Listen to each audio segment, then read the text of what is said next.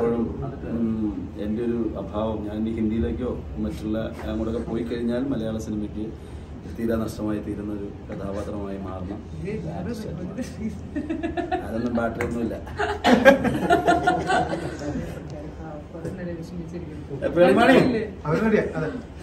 പേളിമണി ready